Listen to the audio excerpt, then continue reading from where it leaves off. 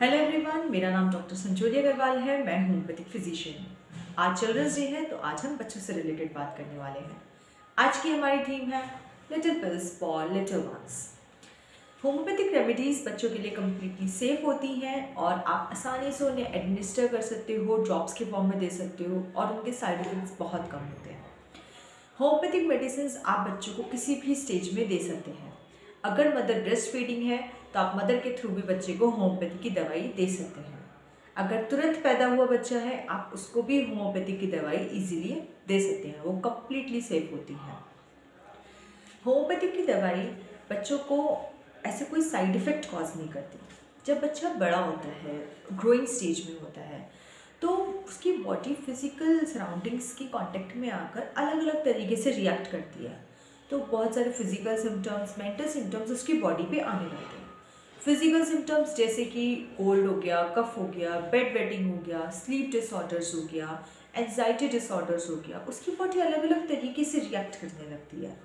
इन सभी के लिए आप उनको होम्योपैथी की दवाई दे सकते हैं। अगर बच्चे को कोल्ड और कफ की प्रॉब्लम होती है या कोई भी प्रॉब्लम हो रही है तो मदर रश आउट करती है नियरेस्ट किसी भी डॉक्टर के पास।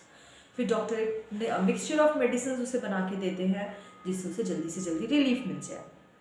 बट यहाँ हम समझने में भूल कर देते हैं कि जो बच्चों का ऑर्गन सिस्टम होता है, वो इमेच्योर होता है। वो केमिकल्स और ये सब चीज़ों से बहुत ऐसे हार्म कर सकता है ये सब चीज़ें उन्हें जो ह्यूमन एडल्ट होते हैं, वो अडेप्टिव होते हैं रेजिलियंट होते हैं। बट जो बच्चे होते हैं, वो बहुत फ्रजाइल होते हैं। हम उन्हें ज़्यादा से ज़्यादा नेचुरल और ऑर्गेनिक चीज़ों के ऊपर रखना चाहिए, जिससे उनकी बॉडी को कोई हार्म ना पहुँचे। होम्योपैथिक सिस्टम ऑफ़ मेडिसिन जो है ये बॉडी के बच्चों की इम्यूनिटी को नेचुरली इन्हांस करता है। बॉडी के नेचुरल डिफेंस मैकेनिज्म को स्टिमुलेट करता है, जिससे बॉडी खुद से खुद को ठीक करती है।